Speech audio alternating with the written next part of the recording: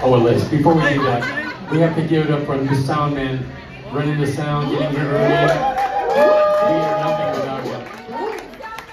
And we also want to say thank you to Mama Kin. How about a hand for the bartenders, the cooks, the waitresses, the staff, the waiters, everybody.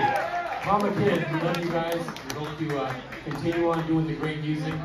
One of the very few venues in San Jose that does live music. So if you like what you're hearing, you like the vibe here, please tell your friends so we keep this thing going. Yeah. I found my, I found one.